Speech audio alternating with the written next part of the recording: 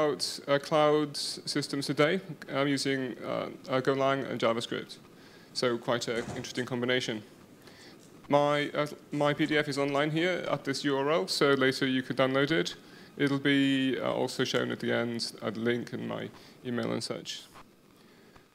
So um, I was uh, uh, a like a system developer doing kernel development, drivers, platforms uh, for like quite a while now, and then more recently been doing uh, silicon design, silicon verification, and um, now um, only the last uh, couple of years doing some front-end web um, work. And what I'd say is it's interesting, almost kind of um, almost quite uh, um, enlightening going from being more like low level, then getting uh, in the end like to more um, kind of like high level JavaScript front end systems. Kind of interesting. Often perhaps it could be um, people that are working only at a single layer. So, going to talk about um, one of the projects I worked on recently, um, like the last uh, two years, and it's um, going to go through the uh, problem statement, um, different um, ways I could have uh, solved it, and then looking at how I looked at uh, the project design. Going to give a, a, a, a, a demonstration. Also, even um, uh, have a look at the code as well, and like see how it actually looks. Some of the, the kind of core parts of the code. Then also talk about some of the, the limitations. So um, in our company, um, I was working on some um, project to to expose the silicon chip counters. So typically, silicon chips run at, at like high frequency. They then have uh, counters that increment at many megahertz. So how do you how do you count events? How do you then show that live, um, like on like like a like a kind of uh, graphing or like dashboard? so that people can then, uh, then can, engineers can then use that or customers can then use that. How is my, uh, my system uh, working? Is it working efficiently? And so obviously um, having a lot of data like that, how do you, um, I don't know, how do you capture it efficiently? And then how do you graph it uh, in real time? So that's really, that was the, the um, uh, goal here. And then of course, having um, like a high rates of data being streamed in real time with reasonably uh, little latency actually presents quite a conflicting um, uh, problem there because it's um, like latency and, and, and, volume of data is is you know uh, hundreds of megabytes, and, and of course uh, you want to stream only uh, like a matter of kilobytes onto your front end. So um, how do we solve that? Well, obviously, cloud services um, are like the the uh, future, uh, and um, like now, trust uh, boundaries are established, and, and security is there. Um, so there's no issues with with um, pushing this data through onto your your front end uh, via like a, a, a like service running in the cloud. So it's, it's obviously the solution you want. Now, um, in terms of choosing different languages, there's, um, of course, a, new, uh, a few newer languages um, more recently these days. But in the past, you had things like C, which were um, like more mechanical. You had libraries. You had a lot of uh, integration work to do to use those libraries. Um, like C++, you had more uh, layering. Of course, um, perhaps Java, also like many libraries you can integrate, and, and of course so on. But then as you get uh, to the uh, higher level languages like Python, then you'll end up with with uh, like slower performance, less scalability, more like more more like memory overhead. And so here, of course, um, obviously something is missing here, and of course uh, JavaScript, and so that's that's one of the key things here. So you can, if you offload a lot of the processing onto the front end, like data reduction or uh, that kind of thing, then of course you can you can uh, have quite a responsive, efficient uh, dashboard or interface. So here, um, the like uh, like Rust uh, uh, um, and of course Go, they're obviously quite quite recent and like the last 10 years, and they've been really quite instrumental in changing how you implement or, or, giving you the tools um, to then implement uh, like cloud services, web servers, um, and of course have integration across that, that stack. Whereas previously you'd have PHP running under Apache, and then you'd, you'd have other uh, like um, separate middleware running, uh, and so on. So here, of course, with like Go or Rust, you can integrate things, which which like makes it much more efficient and easier uh, managing it. So here, um, I chose Go, and then um, let's see. I'd say that there's now uh, like a huge amount of uh, information out there. So it's pretty good choice, pretty well supported, uh, and, and also you can cross-compile to different architectures. How many people have heard about ARM in the cloud? Exactly. Yeah, a few of us, good. Actually half the audience, that's really good. That's the future, and it's happening now. So now you have um, many hosting, uh, uh many companies making, making chips with um, 80, 64 cores, 128 cores in one single chip. It's going to, um, take off in the next few years. Anyway, so uh, of course one of the key things there is, is with Go you can very easily cross-compile onto ARM. So, um, and, and therefore you can um, deploy your services efficiently. Now, in terms of the architecture that I used for my uh, application, pretty simply, um, we need some communication between the client and the server, two-way communication, so that the server can, can send data asynchronously back to the client. So because HTTP will only request um, when the client wants, then you need um, a, a, of course, channel back from the server. So we're going to use um, a, a like uh, WebSockets for that.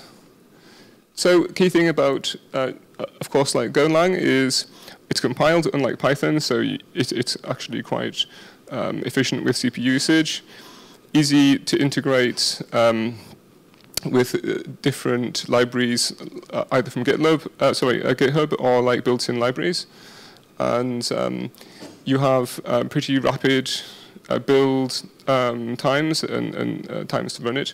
Unlike, for example, if you, if anyone has used a boost, build times can be like many minutes. Um, you have built-in language uh, concurrency, which is really, really nice, and then uh, channels for communicating state and data and then also it, it has lower, uh, like everything is built into the binary, so you don't have all, all these libraries you've got to ship. And actually, um, in fact, mentioning that, you can, you can have the equivalent of a kind of a um, Dockerized container if you just, if you run this, if, if you run your binary, um, and you edit the the uh, the uh, systemd file, then you can isolate um, all of the the uh, network namespace, the PID namespace, um, and so on. So, so, actually, um, you can actually secure and isolate your binary as it's a like single binary. Okay, so here, um, of course, JavaScript. Obviously, it's really mature, very very well known, so easy pool of talent available. So very good choice for this this approach. And then here, um, the key thing, perhaps, when you're you're you're um, uh, uh, developing such an application is you then you like map out your protocol. So your messages um, probably encoded in JSON um, that happen between the client and the server. Once you've worked out, okay, the, the message flow and all the kind of behavior surrounding that, then you can uh, begin to implement.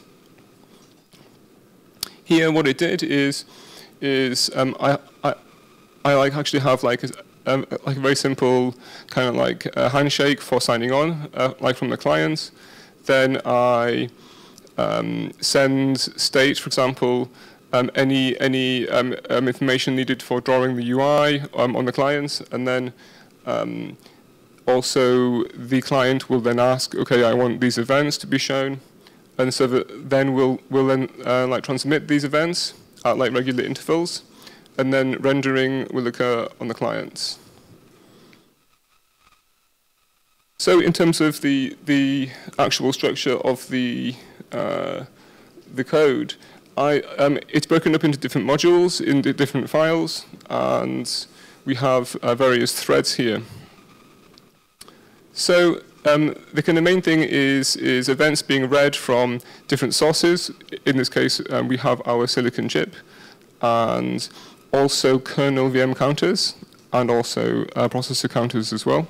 So we can, um, when we're running like a workload with our, our silicon chip, then you can see, okay, um, what is the kernel doing? Are there page faults? How is the processor call load?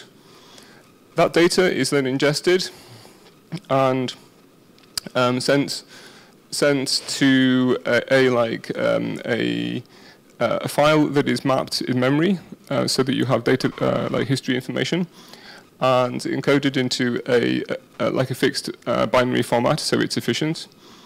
And then that's that's then sent also um, via JSON to the HTML uh, uh, clients there. Likewise, we have um, let's see, we have, oh, I'm sorry, um, it's sent via um, the web server uh, threads here, rather.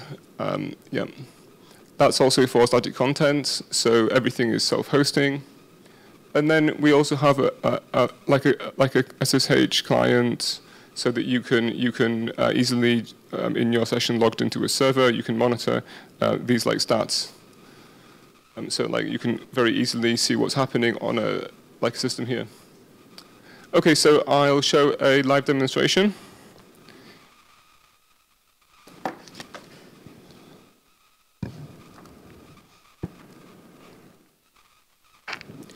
All right, so here I'm logged into system here um, which has all of these processes.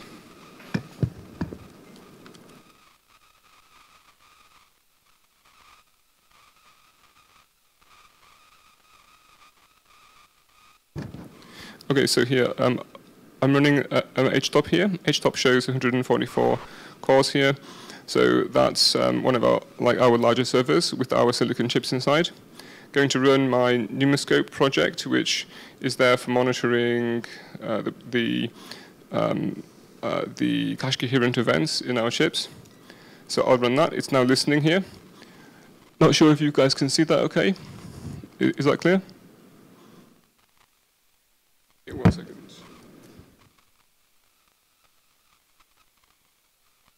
Yeah. Good. So uh, better now, right? So um, it's listening now on port 80. I'm forwarding the port um, over SSH, so I can connect from my browser to this this process running here. What's happening is it's now uh, it's now showing live updates from our uh, silicon there, and we can see um, since since um, this is showing uh, cache coherent events occurring on, on, on the actual CPU interconnect, it, it's quite uh, hard to explain the meaning of each of the events. But right now we can see there's something like uh, 50,000 uh, occurring like that. And right now there isn't any workload as we can see on HTOP. So we're going to run a benchmark. This is the um, NASA um, NAS parallel benchmarks, which are doing some mathematical operations. And we should see uh, the load here climb significantly. So we have like real-time um, graphing here via uh, D3.js. Uh, and yeah, so we can see now actually different different uh, things happening. We can pause this thing and we can zoom in. And yeah, there's um, 17 million events happening uh, right now. In the meanwhile, this is now updating down here as well. And we can resume the scrolling here. Now, I uh, just want to show you guys, there's um, kernel VM stats here that I'm capturing. This is all done in, in Bootstrap, actually, and actually pretty simple. And um, here I'm showing some interesting VM events, for example, um, how many page faults are happening, which tells you when, when there's um, memory allocated and consumed. Also, I can select the, all these different event counters on my silicon chips. So we can get a lot of uh, interesting stats from this about our, our silicon chip and like if, if, for example, it's working as we expect. Um, just finally, uh, we can also um, right now it, it's, it's averaging these over all of the six servers that we have because our chip um, lets you uh, boot six, uh, like many servers as one big server. So we have six servers there. I'm going to show you how it looks when I, I disable that averaging, and then um, it's broken down per server. Um, so that of course explains why, uh, like, uh, like why there's 144 cores. And then we can see there's there's actually some workload imbalance here. I pause that. We can see the, the workload from from this of course benchmark um, occurs um, differently on different servers. So on, on two servers, it's like 2 million reads of cache lines a second. And then on four servers, it's only like 30,000. So you can see that this is not utilizing, the benchmark here is not utilizing all, all the server's resources efficiently. Yeah. Good, and in fact, I can, I'll go on to show you um, a little bit of the structure of how I serve this, these files, um, the JavaScript, the HTML, and also the, the, um, the actual uh, Golang as well. So, go back to the presentation.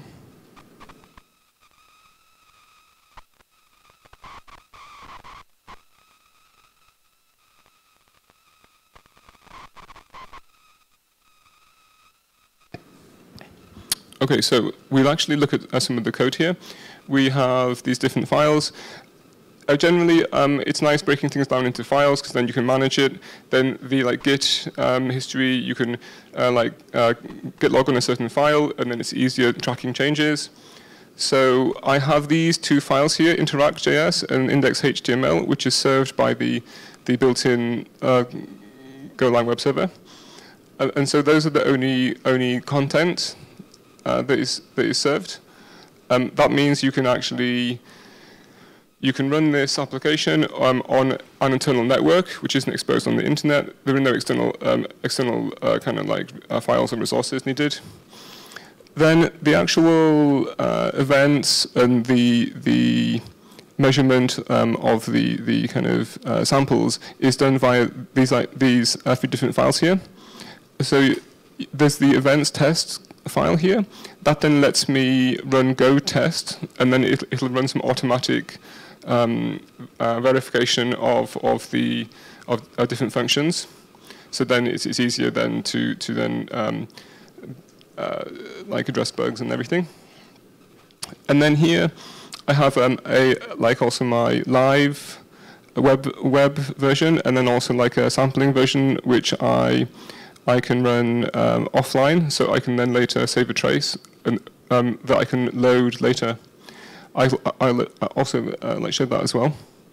And then uh, the top level files here for, for the argument handling. So um, I'm going to show you some of the, the like cool things here with Go.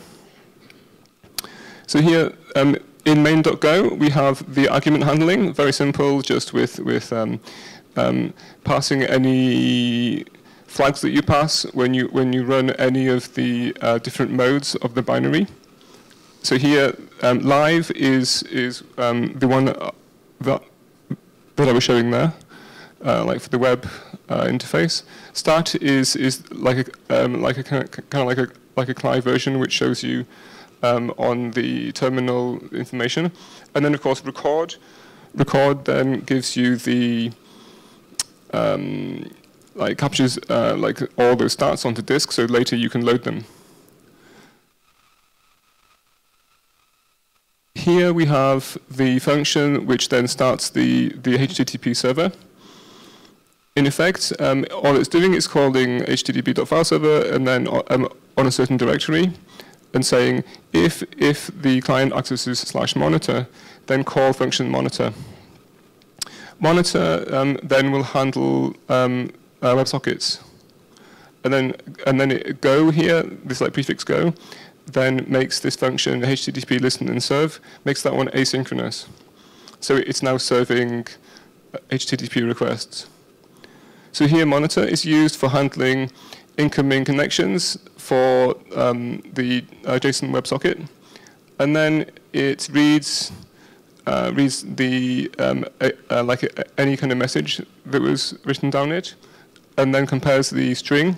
If it matches the the secret key, then it'll uh, kind of fall through, and if not, then it'll just terminate, uh, like terminate uh, that connection. After that, then it'll send down a bit of state here in uh, like a, a, a, map that's produced um, of events. So then um, the UI can then build those um, lists of events.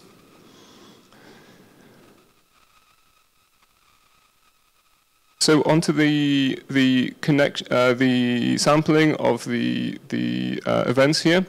So how do we actually how do we access the um, the registers on silicon chips?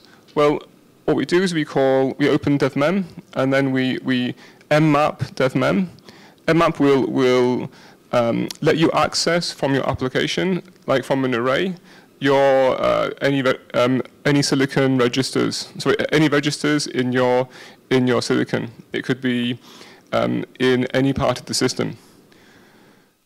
And so you then cast this to an array in Go, um, which is uh, can be considered unsafe because then you can you can access registers you're not meant to, and then it like checks is this really our chip? Does the vendor um, um, like device ID match? And then after that, it simply will uh, like access um, some of the registers here, uh, and then and then later on, um, it's then able uh, then then uh, to to actually sample the the events by accessing this array later in like stack control, and then um, looking at the elapsed the, the number of cycles elapsed since it like last sampled, and then reading out each of the each of the events um, of interest, and then um, normalizing that like by the clock speed. Like those samples, uh, of course, then are passed back um, and marshaled back to the client. And so, so then, um, what are the issues um, that uh, actually that you found? Well, if you're if you're like sending data at like say a thousand hertz um, via a socket back to the client, then it's a lot of uh, congestion. I mean, it, it isn't efficiently packed in JSON.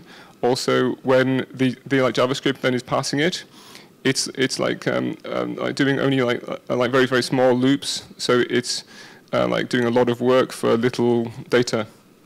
So batching, so uh, batching the the actual uh, these events um, into uh, like blocks really helps. Obviously, like they're time stamped, and and then um, when actually when the graph is drawn, then um, you like scroll it at like at like a, a like a lower frequency and then it's it's it's definitely smooth enough, but also it like, isn't being uh, like drawn a thousand times uh, like at like a thousand hertz.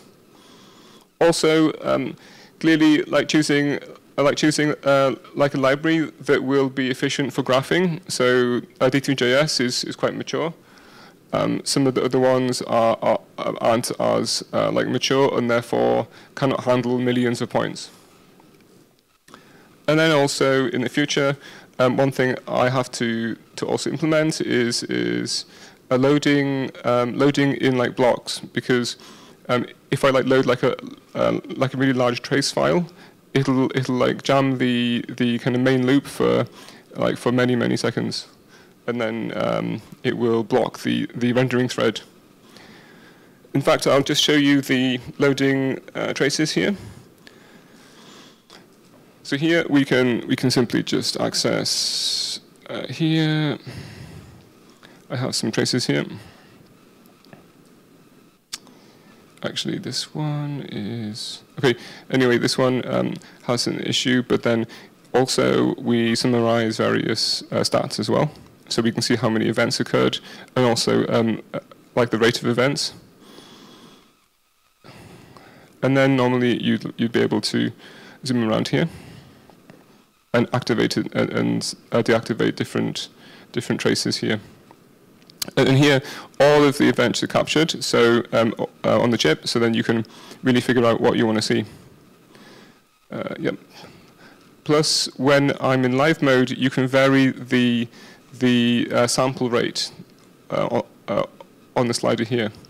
And that's why, that's why when you're sampling um, at like high frequency, like every, say, like a few milliseconds, then you really, really must batch the updates.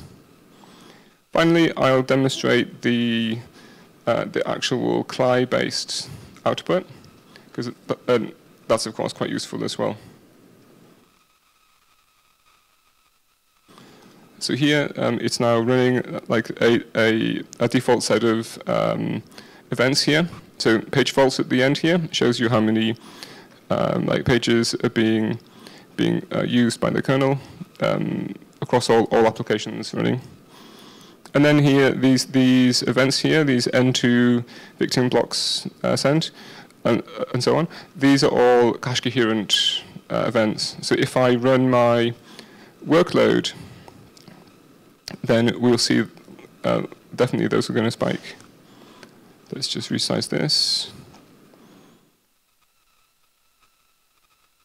There we go, yeah, so we can see that they went from like, say, uh, 50,000 now to like 1.3 million, 2 million, that kind of thing. So, yep. And finally, I can actually record this for later collect, uh, like, like later analysis.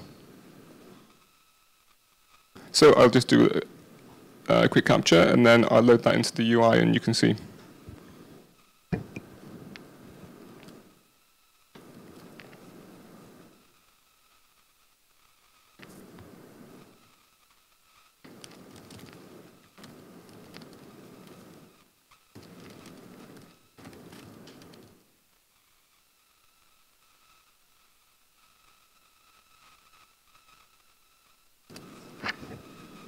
Okay, I've copied it across. Now I can just load it. Let's, let's see what's going on.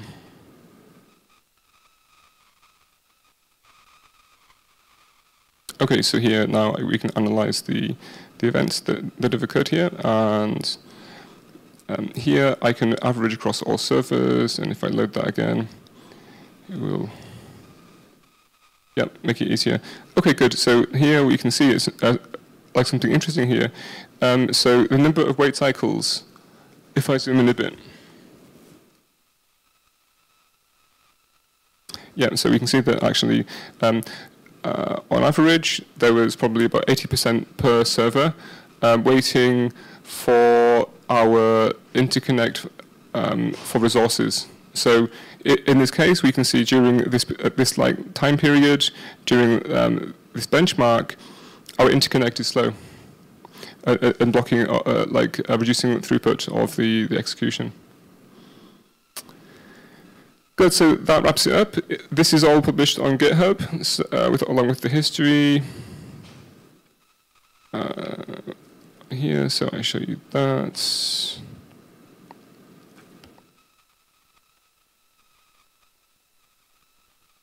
Yep, and, and this has all, also all the documentation here as well. And then you can you can of course clone it and then build it something like that. And then uh, you have to run it as root because it, accesses and maps the chip counters. And then it also it tells you how to run it. So very good. Thank you, uh, thank you guys.